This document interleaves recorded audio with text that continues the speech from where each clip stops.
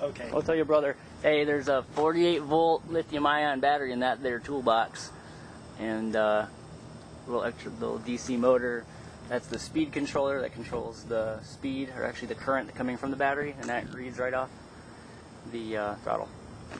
And I can't take credit for any of the striping, but that's what it came with. But I've been telling everybody that I hand stitched the seat. So, and there's my little. Uh, I installed like a little readout meter. It's like in line with the circuit, so basically it tells me um, how many amps it's current, currently drawing, how many volts. So, anyway.